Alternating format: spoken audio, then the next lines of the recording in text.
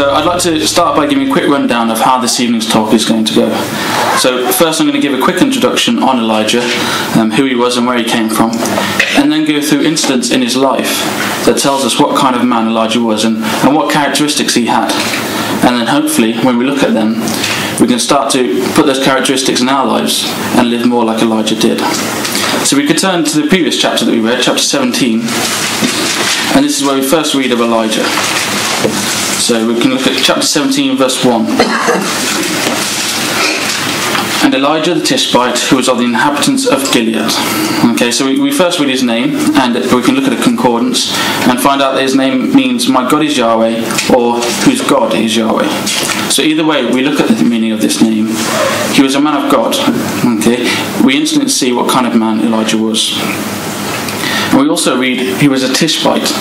And, and, this is the only place we find the uh, Tishbite mentioned, which means he came from Tishba, which was on the east of Jordan. And we are also told he was an, an inhabitant of Gilead. And if we look at the Hebrew word for inhabitant there, we, we see it's the word tosha, and it's translated as, as inhabitant once here, and translated as stranger or sojourner 13 times. One of them we find in Genesis, if you, if you could turn there with me, please. Genesis chapter 23.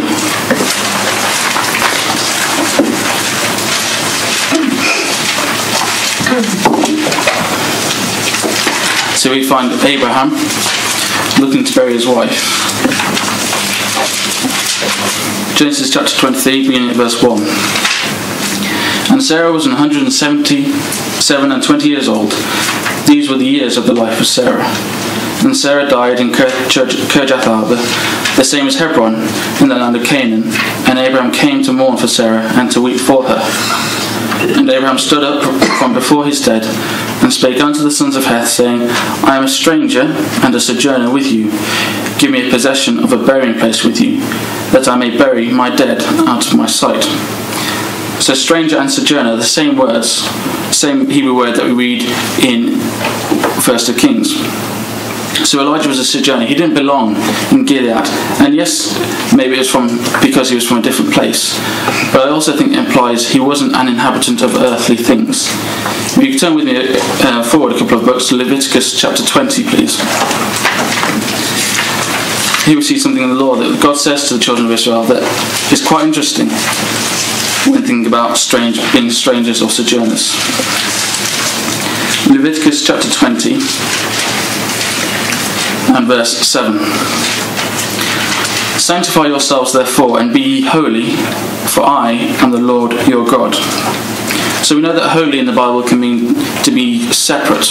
And so the children of Israel here are being told to be separate, and so are we. Elijah was not of the land he dwelled in. He was a sojourner. And to finish off the point, can you turn with me to Hebrews chapter 11, please? A chapter of the, of the giants of faith about being strangers in their lands.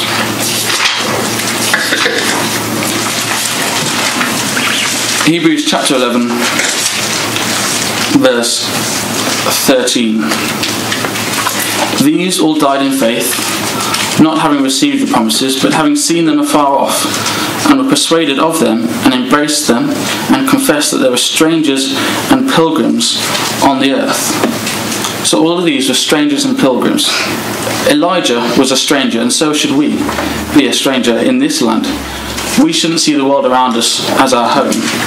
But, we carry on reading in Hebrews verse 14, for they that say such things declare plainly that they seek a country.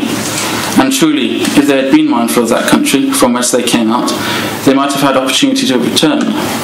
But now they desire a better country, that is, an heavenly. Wherefore God is not ashamed to be called their God, for he hath prepared for them a city. So these people's homes were the kingdom. They did not belong in the world that they were in. So we could turn back to First Kings, please. Still in chapter 17. So we find out where Elijah, came from and what his name means. And we carry on reading in verse 1, we find out what he's doing. So Elijah, Elijah said unto Ahab, As the Lord God of Israel liveth, before whom I stand, there shall not be dew nor rain these years, but according to my word. So Ahab here was the king of Israel at the at the time, and Elijah goes to the king to say that there'll be no rain. And we can see who he's talking on behalf of. It says in the verse, "The Lord God of Israel, before whom I stand." So by reading this verse, we can see what a faithful man he was. His first action and his, his first instruction to follow was to go to the king and say there was a drought. That's, that's like one of us going to David Cameron saying there's going to be no oil left. That's it. That's it. It's finished now. Okay, and, and this must have required great faith. He is then told in the, in the next verse, uh, well, verse 3, to go and hide. And, and we see his obedience here to do what God had told him. So reading verse 3 Get thee hence and turn thee eastward and hide thyself by the brook Kerith, that is before Jordan. So the Hebrew meaning of the word Kerith is a cut or cut off. And again we see his separation from the world around him. He was cut off from the world that he lived in. And here he's told that he was going to be fed by ravens by the brook.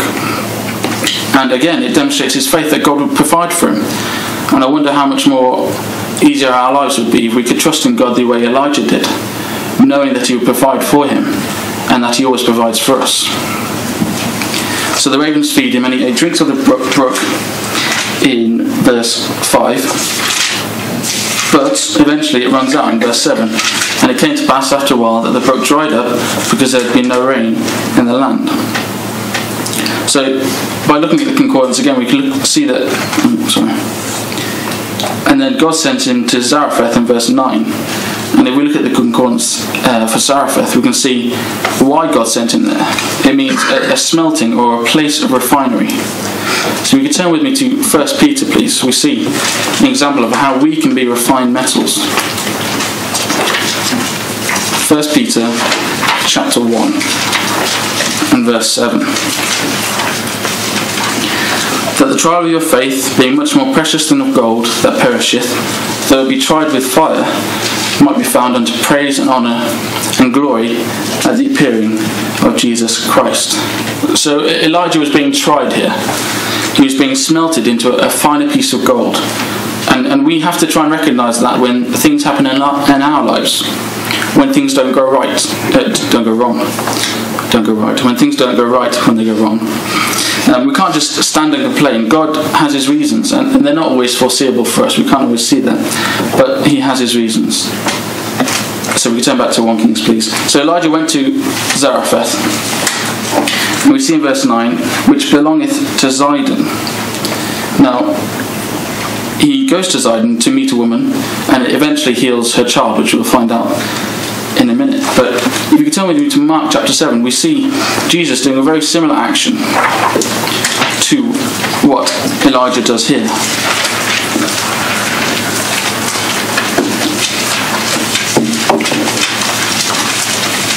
So Mark chapter 7, verse starting at verse 24.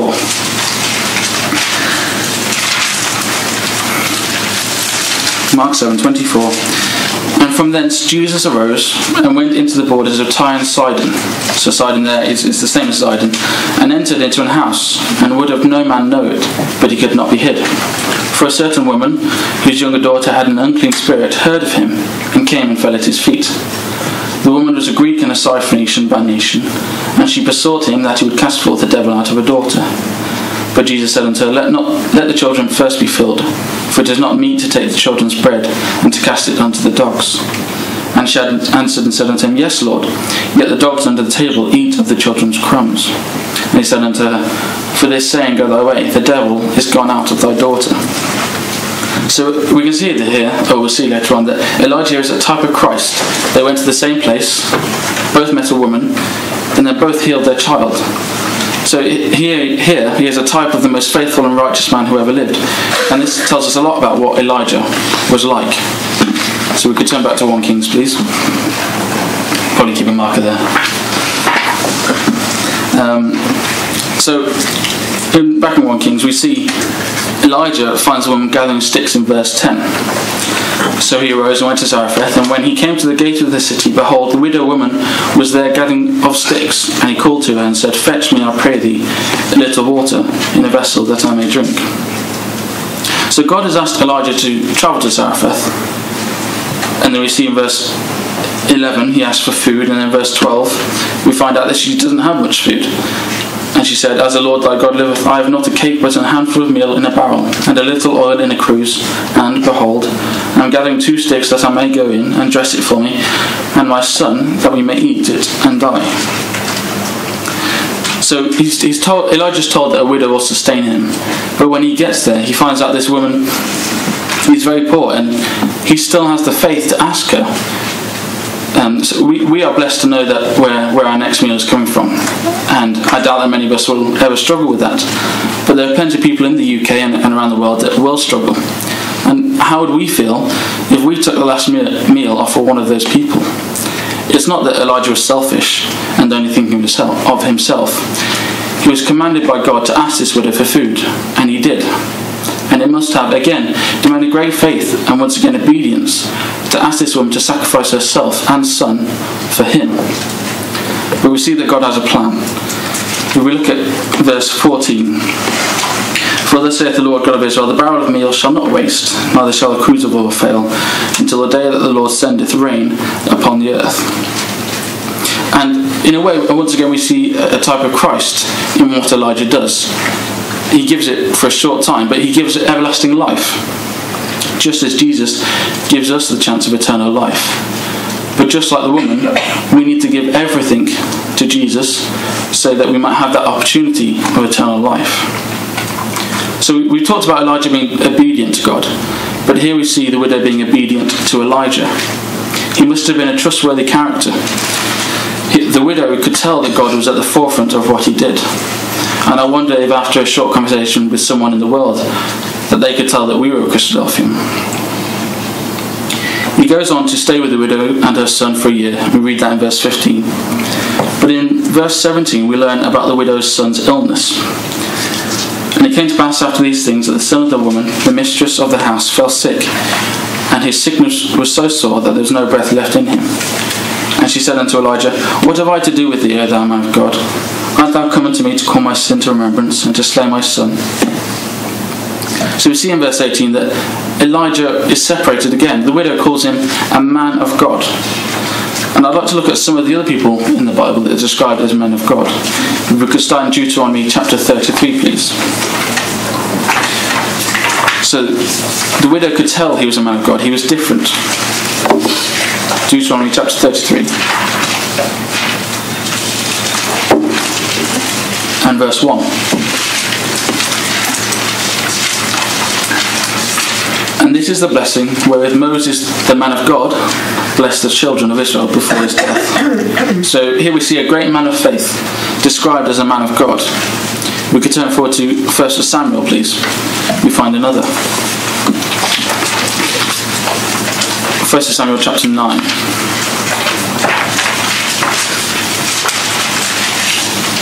I'm sure you can all guess who I'm going to mention.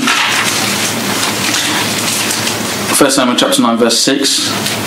Um, Saul is sent to look for Samuel, and he said unto him, Behold, now there is in the city a man of God, and he is an honourable man. All that he saith comes surely to pass.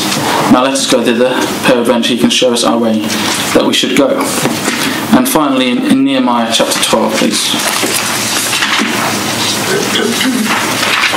someone who was a great king of Israel is also described as the, a man of God. Nehemiah chapter 12, verse 24. And the chief, chief of the Levites, Hashabiah, Sherebiah, and Jeshua the son of Kadmiel, with their brethren over against them, to praise and to give thanks according to the commandment of David, the man of God. We see again in verse 36 towards the end with the musical instruments of David, the man of God, and Ezra described before them. So David is described as this man of God as well. So we see these incredible men all described as, as men or uh, men of God. So what would call what would someone call us? So when people I'm sure you know but when someone can't remember your name, what would they say? Would they say, um, "Oh yeah, the, the, Ferrari guy over there," or because you like cars, or would it be, "Oh yeah, the, the Man United guy," because you support Man United? Or would they say, oh yeah, no, the, the religious one? What do people see us doing in the world? Would they know that you're religious? They knew it about all these men. And they knew it about Elijah from the way he lived his life. Turn back, turn back to 1 Kings, please. So Elijah goes on to heal the child that was sick in verse 21. And through prayer, he raises the child. He still recognizes that his power comes from God, and that only through God he can raise the widow's child. So, so must we likewise pray to our God when we have choices to make in our lives or something important is coming up, just as Elijah did. So Elijah raised a widow's son from the dead, or was pretty much dead. If you could turn with me to Hebrews 11, we've been there already, talking about sojourners. But here, there's another link to Elijah towards the end of the chapter.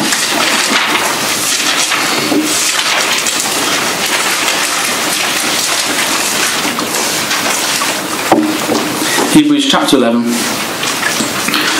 verse 32. And what shall I more say? For the time would fail me to tell of Gideon and of Barak and of Samson and of Jephthah and David also and Samuel and of the prophets who through faith subdued kingdoms, wrought righteousness, obtained promises, stopped the mouths of lions.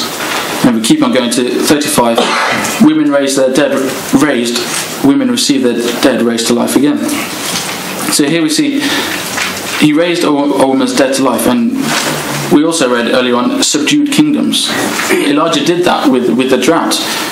If you could turn back to 1 Kings, please. And to the next chapter, to the chapter that we had read. So 1 Kings chapter 8, 18, looking at verse 1.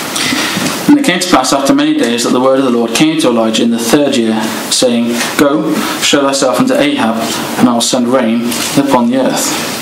And again we see this obedience that Elijah was told to go and find Ahab, the man that he told in chapter 17, verse 1, that there'd be no rain. Ahab's country would have been falling apart with no rain. And as far as he was concerned, it was Elijah's fault.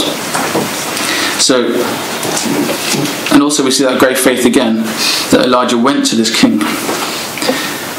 And then we meet Obadiah in, in verse 3, who was, the, who was the governor of Ahab's house. And I won't dwell much on Obadiah's words tonight because we're looking at Elijah. Um, if you follow me to verse 5, please.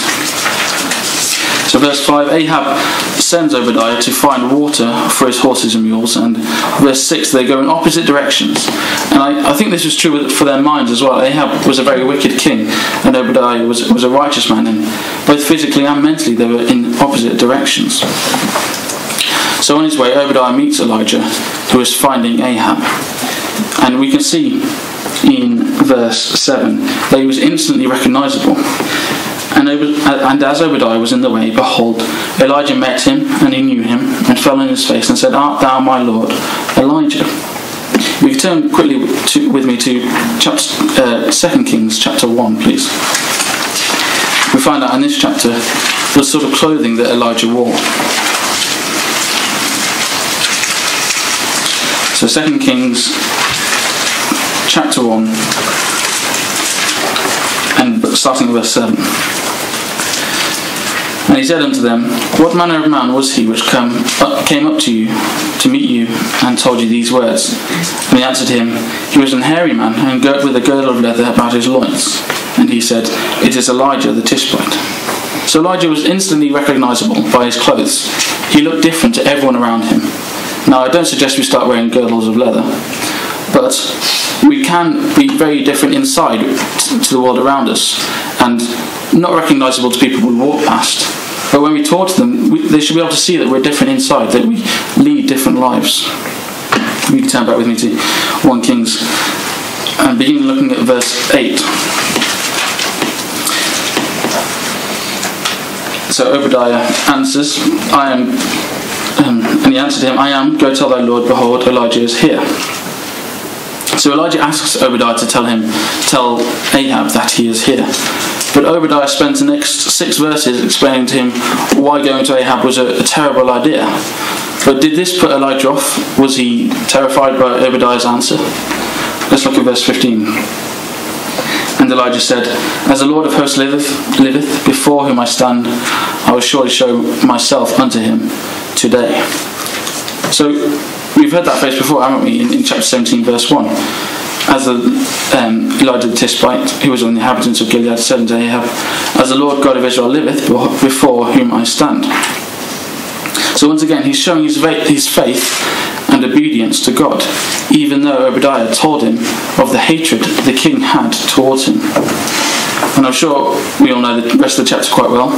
Elijah challenges the prophets of Baal by asking their god Baal to bring fire down from heaven.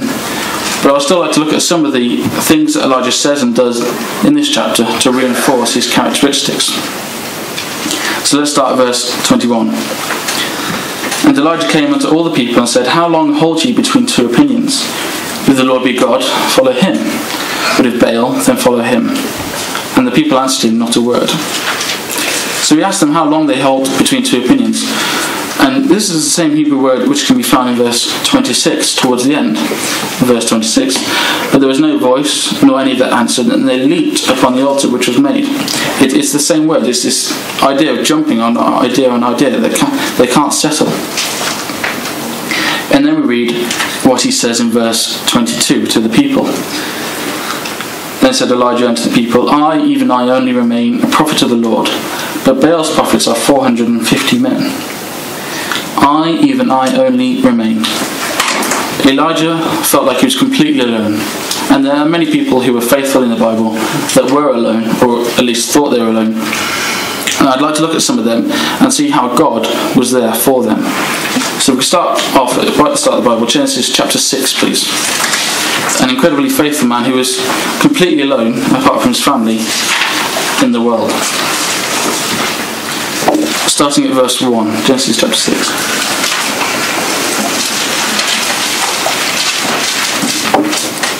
And it came to pass when men began to multiply on the face of the earth, and daughters were born unto them, that the son of God's sons of God saw the daughters of men that they were fair, and they took them wives of all that which they chose. And the Lord said, My spirit shall not always strive with them, for that he also is flesh, yet his days shall be an hundred and twenty years. And then we move forward to verse 5. And the gods and God saw that the wickedness of men was great in the earth, and that every imagination of the thoughts of his heart was only evil continually. And then forward to verse 8. But Noah found grace in the eyes of the Lord. So Noah and his family were completely alone because they were the only, only, only faithful ones left. God wanted to wipe the entire population of the earth except them. And we see in verse 17, we see that in verse 17. And behold, I, even I, do bring a flood of waters upon the earth to destroy all flesh, wherein is the breath of life from under heaven, and everything that is in the earth shall die. And then you turn over the page, chapter 8, verse 1 we see that God remembered Noah and the waters receded. So God was there for Noah when he thought he was completely alone. Next, I'd like to turn to Daniel. Daniel chapter 3, please. A man and his two friends who were alone in a foreign country.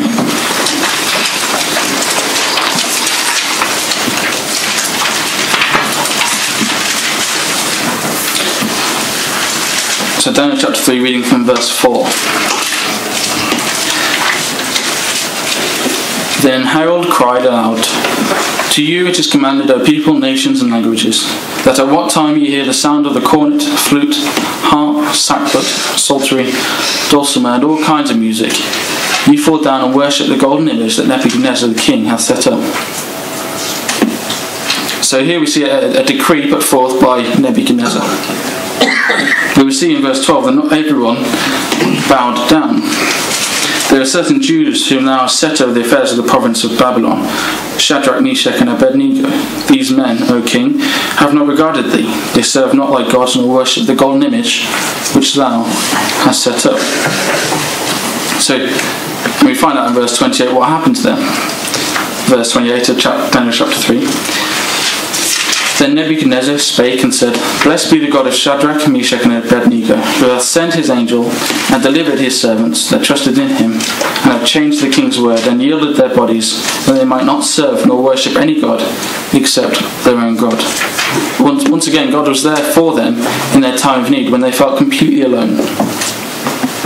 And finally, we can turn back to Second of Kings, please.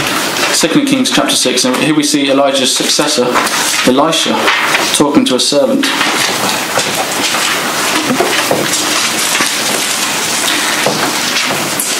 The second book of Kings, chapter 6, reading from verse 15. And when the servant of the man of God was risen early and gone forth, behold, an host compassed the city both with horses and chariots. And his servant said unto him, Alas, my master, how shall we do? And Elisha answered, Fear not, for they that be with us are more than they that be with them. And Elisha prayed and said, Lord, I pray thee, open his eyes that he may see. And the Lord opened the eyes of the young man, and he saw, and behold, the mountain was full of horses and chariots of fire around about Elisha. So this servant felt alone. He felt like he was going to lose, but there was no chance for him. But God showed through Elisha who was with him, all those angels. And I'm sure many of you know those times in the Bible and those, those stories, but you can clearly see how they were completely alone, or at least thought they were alone. And God was there for them. And it's easy for us to feel more confident and faithful when you have your ecclesia and brothers and sisters around you on Sundays and at Bible class, but and, and you don't feel completely alone because you are around those people that believe the truth. But tomorrow or next week when you're at work or school, it can feel very lonely because you don't have those people around you. And like Elijah, we'll be surrounded by those people who don't believe the truth. But as we have seen, God is always there with us. And our brethren and sisters are just a phone call or a text away. Being lonely can really bring us down, as I'm sure it did for these men, but we can't let that happen because we must remember that hope we have and that God is with us at all times. You turn back to 1 Kings chapter 18, please. So we have the, the challenge put forth in verse 23 and 24 that whosoever God would bring down fire would be the true God.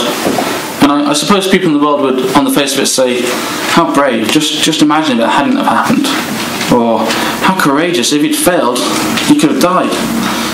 But there was never an if for Elijah. There was no bravery, no courage. There was faith and trust that the Lord was the one true God and that he would answer the prayer, his prayer, and bring down fire. So later on, we see Elijah's confidence reach its max when he mocks the prophets when Baal doesn't produce fire, in verse 27. And it came to pass at noon that Elijah mocked them and said, Cry aloud, for he is a God. Either he is talking, or he is pursuing, or he is in a journey, or peradventure he sleepeth, and must be awake.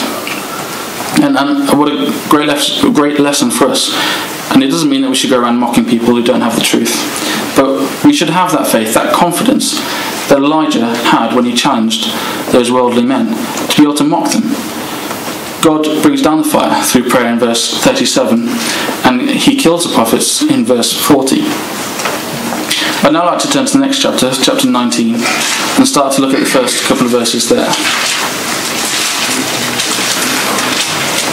And here we see that, that someone else wants to kill Elijah now. Chapter 19, verse 1. And Ahab told Jezebel all that Elijah had done, and withal how he had slain all the prophets with the sword. Then Jezebel sent a messenger unto Elijah, saying, So let the gods do to me, and more also, if I make not thy life as the life of one of them by tomorrow about this time. And when he saw that, he arose and went for his life, and came to Beersheba, which belonged to Judah, and left his servant there. So here we see after here we see Elijah after seeing God produce fire from heaven, after seeing that cloud that looked like a hand in chapter 18, verse 44. All this glory from God, but as soon as Jezebel threatens him, he went for his life. Elijah still lacked that little bit of faith.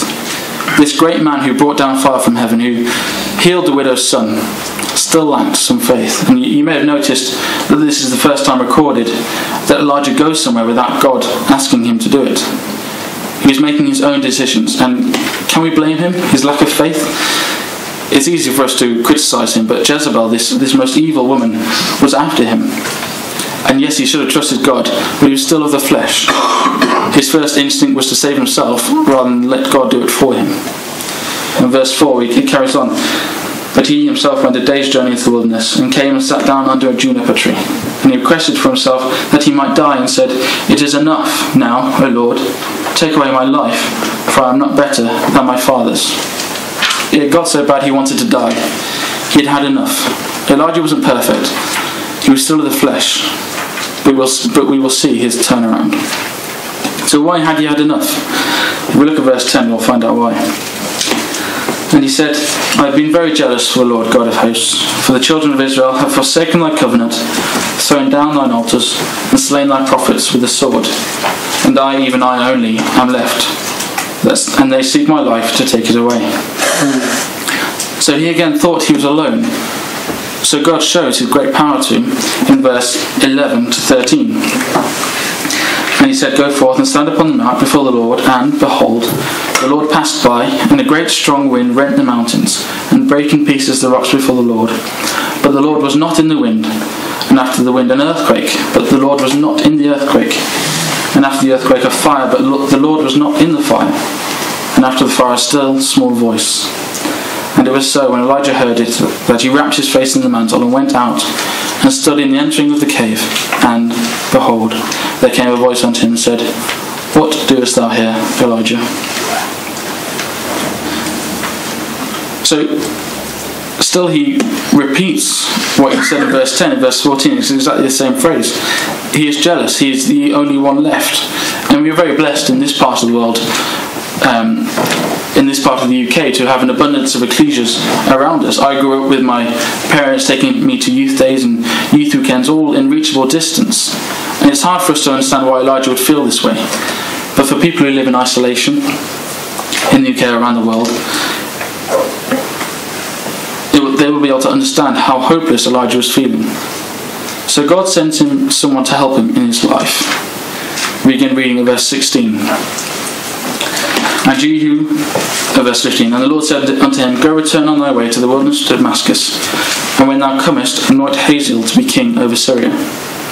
And Jehu the son of Nimshi shall thou anoint to be a king of Israel. And Elisha the son of Shaphat of Abel Meholah shalt thou anoint to be prophet in thy room. So God sends someone to help him in his life, and he is told to anoint Elisha. And what do we read in verse 18? Yet I have left my I have left me seven thousand in Israel, all the knees which thou hast which have not bowed unto Baal, and every mouth which hath not kissed. Seven thousand in Israel. Seven thousand people who did not bow unto Baal. He wasn't alone, he just thought he was alone. And it's easy for us to do this. But we know that there are brethren and sisters around the world that can help us. We can't make the same mistake Elijah did. There were people there, he just didn't seek them out. And there's plenty of technologies today that we can, with emails and texts, so we can easily be reminded of our brethren and sisters around the world. And they can be reminded of you, and we should make use of that blessing. So later on in the chapter, he goes to see Elisha. And, in, and what is Elisha doing when he sees him in verse 19? So he departed thence and found Elisha the son of Shaphat, who was ploughing with twelve yoke of oxen before him. And he with the twelfth, and Elisha passed by, by him and cast his mantle upon him. So he's ploughing with 12 yoke of oxen, and this would have brought Elijah's mind back to the altar he built in chapter 18, verse 3, where God was with him. And from this, he would have realized that God was with this man. And then we carry on in verse 21. And he returned back from him, and took a yoke of oxen, and slew them, and boiled their flesh with the instruments of the oxen, and gave unto the people, and they did eat. Then he arose and went after Elijah, and ministered unto him. So Elijah, Elisha gave Elijah what he wanted. He ministered unto him. He was his companion. God had supported Elijah by giving him someone that he could minister to and no longer felt alone because of it. Uh, it's very similar to Adam and Eve in Genesis. And we don't read again of Elijah until chapter 21, after Jezebel, the wife of Ahab, has killed Naboth, who had a vineyard near the king's land, so that Ahab could claim his vineyard. And we see him introduced again in verse 17 of 1 Kings chapter 21. And the word of the Lord came to Elijah the Tishbite, saying, Arise, go down to meet Ahab king of Israel, which is in Samaria. Behold, he is in the vineyard of Naboth, whither he has gone down to possess it. So he is once again told to go to the man that he had told no rain was going to come. He killed 450 of his prophets, and his wife still wanted to kill him. Elijah's faith and obedience is once again shown by following the Lord's words here, going to that king. And we we can see how Ahab felt about Elijah in verse 20. And Ahab said to Elijah, Hast thou found me, O mine enemy? And he answered, I have found thee, because thou hast sold thyself to work evil in the sight of the Lord. So Ahab considered Elijah as his enemy, and the Hebrew word has an idea of hating. Elijah had made this man's life a misery at times. So in verse 22, we read of God's judgment towards Ahab. And will make thine house like the house of Jeroboam the son of Nebat, and like the house of Baasha the son of Ahijah, for the provocation, provocation wherewith thou hast provoked me to anger, and made Israel to sin. So we're still not too sure what the judgment is, but if we look in the margin, we can see that next to the house of Jeroboam, we, well, in my Bible, sorry, it's gone to uh, 1 Kings chapter 15, verse 29. And we can see there what, what the judgment was.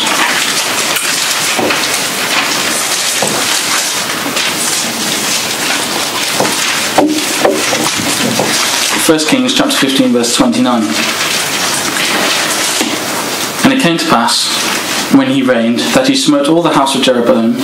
He left not to Jeroboam any that breathed, until he had destroyed him, according unto the saying of the Lord, which he spoke by his servant Ahijah the Shilonite.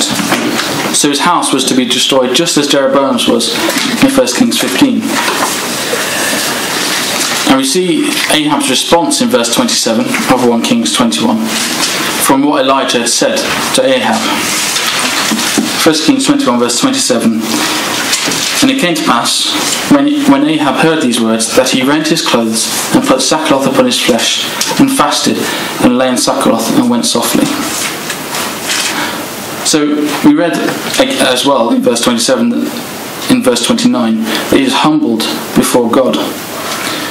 So he had finally come around. He, he had been evil and now he was recognizing it. So, what does this tell us about Elijah? He was resilient and he didn't stop till God's work was fulfilled. Right back in 1 Kings 17, verse 1. And could we have this same response from someone in the world? When we first approach people, they could reject us just as Ahab did Elijah. And I doubt they'll search high and wide to hunt you down, but they could completely ignore you. But did this stop Elijah? yes, sort of temporarily he was he ran away from Jezebel, but he kept trying, and now he had changed Ahab. And I believe we can have this exact same response to people in the world with prayer, faith, and a willing heart. We can change people's lives and give them an opportunity of eternal life in God's kingdom. So within the next chapter, uh, chapter 22, Ahab is slain and Ahaziah is now king of Israel. And we read in verse 51, we read that in verse 51. Ahaziah the son of Ahab began to reign over Israel in Samaria the seventeenth year of Jehoshaphat king of Judah and reigned two years over Israel. And what sort of king was Ahaziah? Read it in the next verse.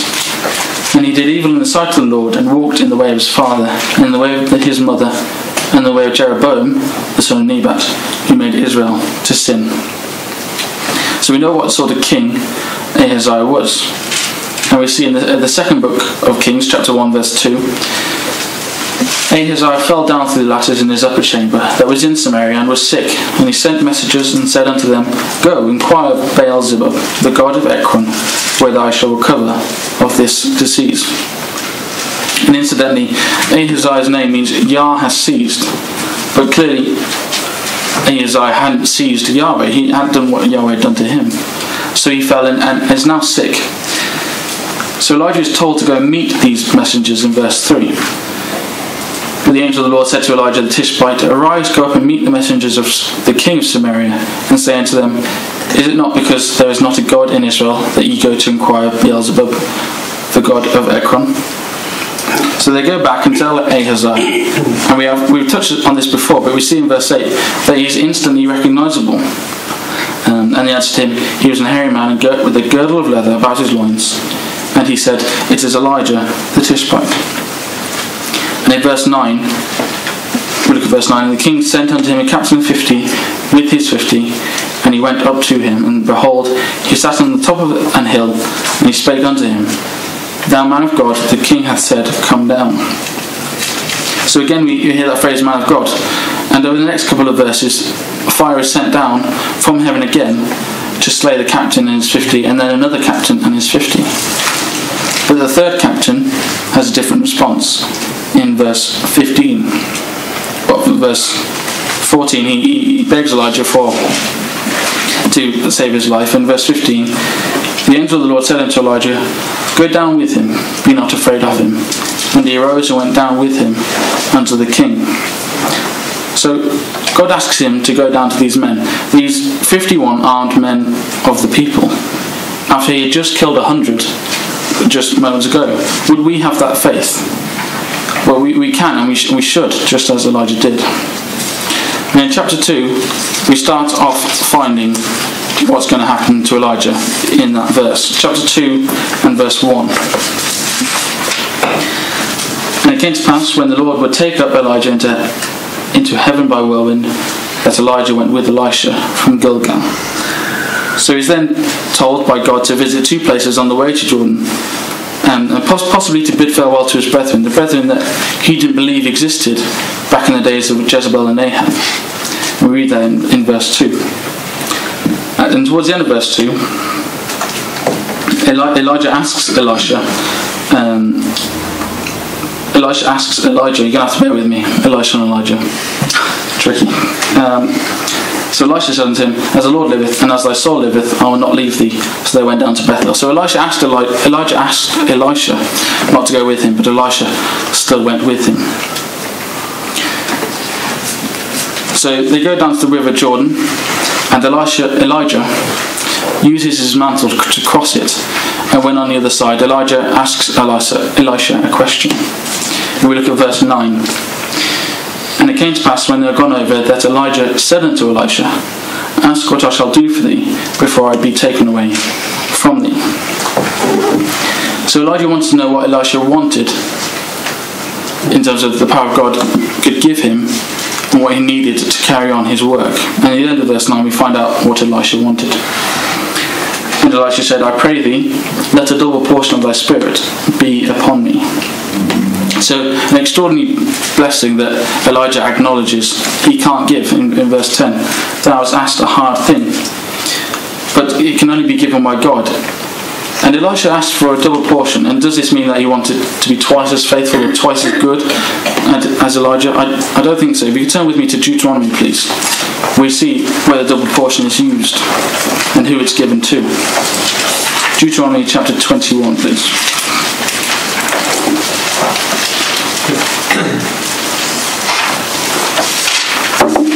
Deuteronomy chapter 21, verse 17. But he shall acknowledge the son of the hated for the firstborn, by giving him a double portion of all that he hath. For he is the beginning of his strength, the right of the firstborn, firstborn is his. So the double portion was reserved for the firstborn. Elisha wanted to be the heir to Elijah, an heir to the prophetic office. We could turn back to 2 Kings, please. So we see 2 Kings chapter 2, Elijah is, is taken up in verse 11 and, and not to be preserved in heaven till Christ returns, but to another place. Please turn with, me to John chapter 3, please. And here we read about who goes to and from heaven. And you'll see Elijah didn't go to the place where God dwells. John chapter 3, verse 13. No man hath ascended up to heaven, but he that came down from heaven, even the Son of Man, which is in heaven. So we see there that Elijah didn't go to heaven, but just into the sky, and then eventually died, as, as all men do.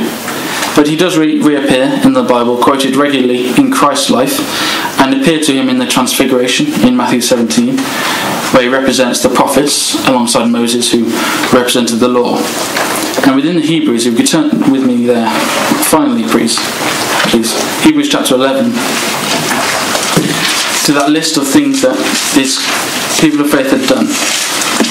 We can look through them and see the things that Elijah did in that list.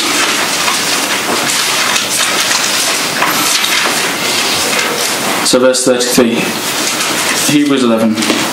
Who through faith subdued kingdoms, wrought righteousness, obtained promises, stopped the mouths of lions, quenched the violence of fire, escaped the edge of the sword. He definitely escaped from Jezebel. Out of the weakness were made strong. He was, he was alone and he, was still strong. Waxed valiant, valiant in the fight, turned to flight the armies of the aliens. Women received their dead raised to life again, and we've looked at that before. And others were tortured, not accepting deliverance, but they might obtain a better resurrection. And others had trial of cruel mockings and scourgings, yea, moreover of bonds and imprisonment. They were stoned, they were sawn asunder, they were tempted, were slain with a sword. They wandered about in sheepskin and goatskin. We know that Elijah was a, a man of the wilderness, being destitute, afflicted, tormented, of whom the world was not worthy. They wandered in deserts and in mountains and in dens and caves of the earth. So you see there a good description of Elijah in certain things. I'm sorry, it's not quite the last thing. If you could just turn with me a couple of pages, pages to James chapter 5, please. We read of Elijah in James chapter 5 and verse 17. Elias, or Elijah, was a man subject to like passions as we are, and he prayed earnestly that he might not rain, and it rained not on the earth by the space of three years and six months. And he prayed again, and the heaven gave, the heaven gave rain, and the earth brought forth her fruit. Brethren, if any of you do err from the truth and one convert him, let him know that he which converted the sinner from the error of his way shall save a soul from death and shall hide a multitude of sins. So Elijah was a great man who overcame much adversity and was faithful and obedient until his carrying away. He changed the land that he lived in, the land that he didn't belong in. We don't belong here. We live for that day to come as Elijah did. And may that day be soon. Thank you.